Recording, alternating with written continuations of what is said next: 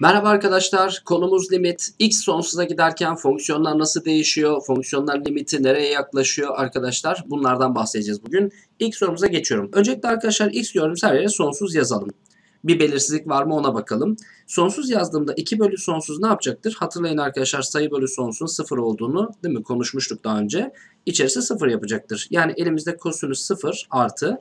Burada da x yerine sonsuz yazdığımızda ne olacak arkadaşlar? Ee, 3 üzeri 0 var.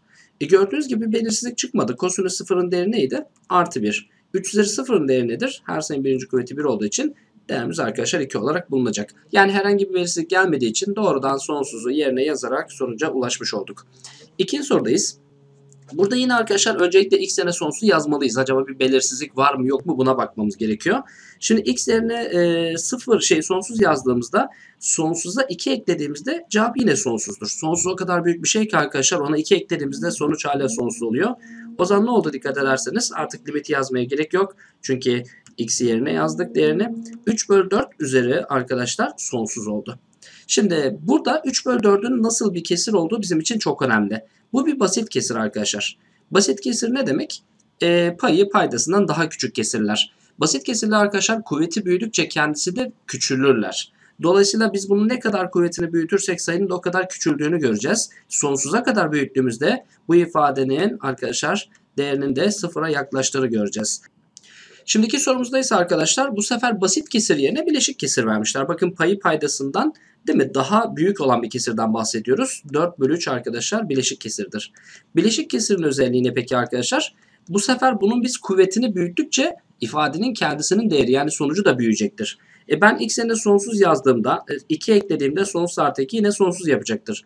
Yani 4 bölü 3 üzeri sonsuz var elimizde arkadaşlar. Bu bir bileşik kesir olduğu için siz kuvvetini ne kadar büyütürseniz sonuçta o kadar büyüyecektir ve bunun limiti hiç durmayacaktır. Sonsuza kadar devam edecektir. Limitimiz sonsuz diyeceğiz onun için. Şimdi dördüncü sorudayız arkadaşlar. Burada da e, x yerine önce sonsuz yazacağız. Yazarsak nasıl bir şey çıkacak bakalım.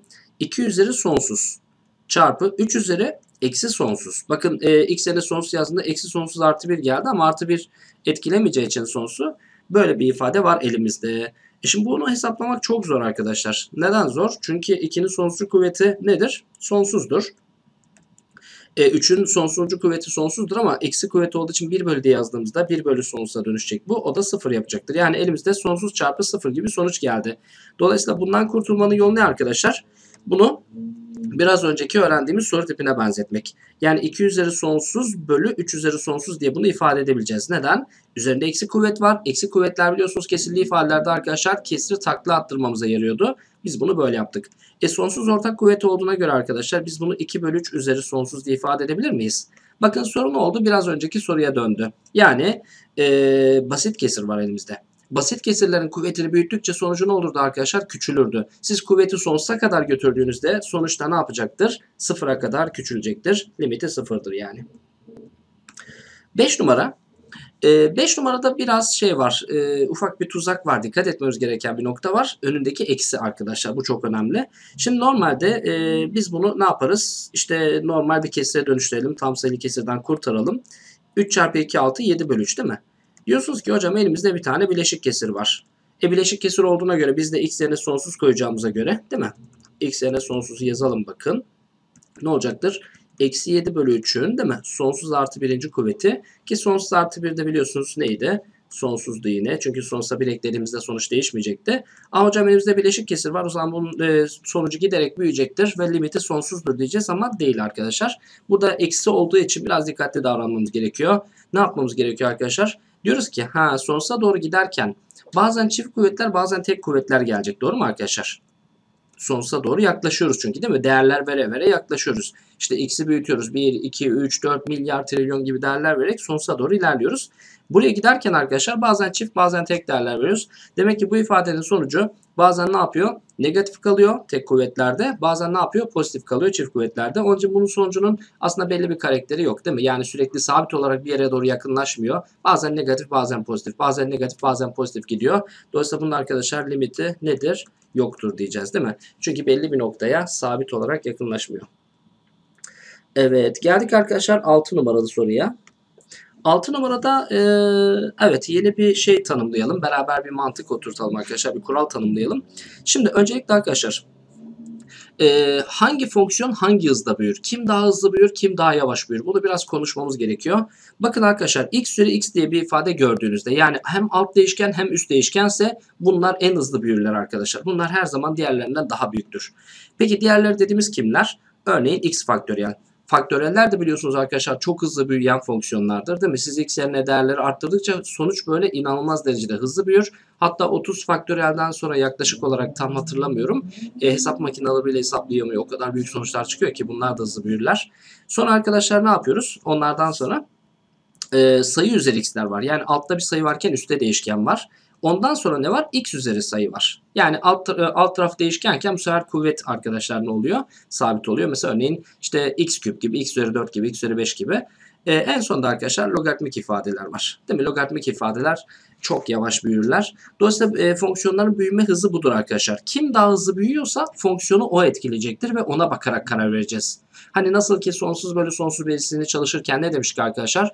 e, küçük dereceli terimleri atıyorduk değil mi? En büyük dereceli terime bakıyorduk. Neden? O çünkü denklemi çok fazla etkiliyordu. En hızlı o büyütüyordu ya da o küçültüyordu. Dolayısıyla ona bakarak karar vermek yeterli oluyordu. Aynen burada da arkadaşlar ona benzer mantık kullanacağız. Şimdi x yerine sonsuz yazacağım ama bir belirsizlik geleceğini görüyorsunuz arkadaşlar. Yani sonsuz bölü sonsuz geleceğini görüyorsunuz. Dolayısıyla bu belirsizlik gelmeden biz bu olayı nasıl çözeriz diye bakıyoruz. Diyoruz ki e, önce paya bakıyorum. Pay kendi içerisinde değil mi en büyüğünü seçsin. Payda da kendi içerisinde en büyüğünü seçsin. Sonra bu büyüklerde ne yapsınlar? Finalde karşılaşsınlar. Ee, şimdi 3 üzeri x 2 üzeri x'ten daha hızlı büyür. O zaman bunu atıyorum arkadaşlar. Doğru mu? Üst tarafta bu daha hızlı büyür. Alt tarafa bakıyorum. Alt tarafta da arkadaşlar x üzeri 4 var ve 3 üzeri x var. Yani şu durumlar görüyor musunuz, görüyor musunuz arkadaşlar? O zaman bu e, gidiyor. 3 üzeri x daha hızlı büyüyor. Yani elimizde ne kaldı arkadaşlar? Limit x sonsuza giderken 3 üzeri x çarpı 1 bölü 3 Değil mi? Üzerinin eksi 1 olması durumu. Hani artı eksileri ayırıyorduk. Onları sevmiyorduk peki hatırlayın. 3 üzeri x. Sonra bu 3 üzeri x'ler sadeleştiği için arkadaşlar limitinde 1 bölü 3 olduğunu çok hızlı söyleyebiliyorduk. E, neymiş demek ki arkadaşlar? Fonksiyonların büyüme hızlarına bakıyoruz. Kim daha hızlı büyüyorsa o fonksiyonu daha çok etkiliyordur ve onun üzerinden limitlerini hesaplamaya çalışıyoruz. Evet geldik 7 numaraya. Burada da benzer mantık kullanacağız. Burada da yapacağımız şey şu arkadaşlar e, kim daha hızlı büyüyor? Önce payda sonra paydada. Bunları kendi arasında kıyaslayacağız. E, pay ve paydanın şampiyonları sonra arkadaşlar finalde karşılaşacaklar. Şimdi ne demiştik? x üzeri x. Hem alt hem üst değişkense. Sonra ne vardı? Faktöriyeller vardı. Sonra ne vardı arkadaşlar? İşte a üzeri x pardon x üzeri a. A yok pardon doğru söylemişim. E, a üzeri x'ler. Sonra x üzeri a'lar. Sonra da ne var arkadaşlar? Logaritmalar vardı değil mi? Logaritma x'ler. Bu hızla arkadaşlar büyüyordu. En büyük olan kimdi? x üzeri x. Burada öyle bir ifade var mı? Evet aşağıda var bakın arkadaşlar. Dolayısıyla ne olacaktır? Şu ifadeleri çöpe atabiliriz çok rahat. Alt tarafın şampiyonu bu oldu. Üst tarafa gelince de arkadaşlar e, burada bir 4 üzeri x var. Burada da bir x faktöriyel var. Hangisi daha hızlı büyür? Bakıyoruz faktöriyel daha hızlı büyüyor arkadaşlar değil mi? Faktöriyel daha hızlı büyüdüğü için bunu ne yapıyoruz? Atıyoruz. O zaman limit x sıfıra giderken ne kaldı elimizde? x faktöriyel bölü değil mi? x üzeri x çarpı x kare kaldı. Buradan arkadaşlar hangisinin daha hızlı büyüdüğünü biliyoruz. Bu arada arkadaşlar e, şimdi fark ettim. Burada da bir hata var. Bunu biz sonsuz yapmalıyız değil mi? Bunu ben sonsuz olsun diye düşünmüştüm. Evet bu şekilde arkadaşlar düzelterek devam edelim. E, çünkü sonsuza giderken sadece bu kuralı kullanabiliyoruz değil mi arkadaşlar? E, ne oldu o zaman? Dikkat ederseniz üst tarafta x faktörel var. Alt tarafta da böyle bir ifade var. Dikkat ederseniz x üzeri x zaten en hızlı büyüyen yapı değil miydi? O zaman demek ki bunun paydası çok daha hızlı büyüyor. Payda hızlı büyüdüğüne göre bir kesirde payda hızlı büyür. Pay küçük kalırsa sonuç ne yapar? Arkadaşlar sıfıra yaklaşır değil mi? O zaman şöyle bir özet yaparak bu soruyu geçelim. Bir rasyonel ifadede yani kesirli bir ifade eğer pay hızlı büyüyorsa sonuç sonsuza gider. Yok payda hızlı büyüyorsa o zaman sonuçta ne yapar arkadaşlar? Sıfıra gider. Ee, o zaman 8. soruya geçebiliriz artık. Şimdi bakıyoruz kim daha hızlı büyüyor? Pay mı payda mı? Burada x faktöriyel var. x faktöriyelin değil mi? 10 üzeri x'ten daha hızlı büyüdüğünü biliyoruz. O zaman bunu ne yaptık arkadaşlar? Attık. Bir de ne yapıyorduk hatırlarsanız? Artılı eksili ifadeleri ayırabiliyorduk değil mi? Bunu atabiliyorduk. Çünkü 2x 3'e göre çok daha hızlı büyüyeceği için değil mi sonsuza giderken 3'e bakmama gerek yoktu. Burada tabii eksi 1'i atamam. Şunu atamam arkadaşlar. Neden? Bu faktörelin içi. Faktörelin içi o zaten tek bir sayı kendi kendisine. Onun içerisine arkadaşlar müdahale edemeyiz. E, bir de artı eksi durumdakileri atabiliyorduk. Buradaki 2 x'i komple silemem. Hocam faktörel daha hızlı büyüyor. Onu atalım. Yani o kalsın pardon x'liği atalım diyemeyiz. Çünkü bunlar çarpım durumda. Zaten birbirlerini büyütüyorlar. O zaman ne yapacağız arkadaşlar?